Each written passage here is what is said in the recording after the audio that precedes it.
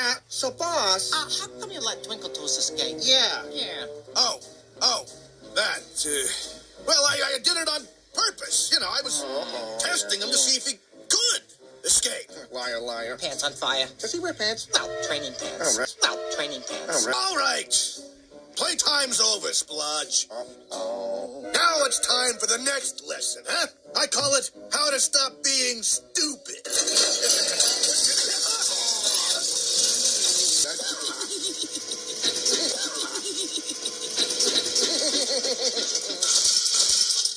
That's gonna ruin my facial. Oh.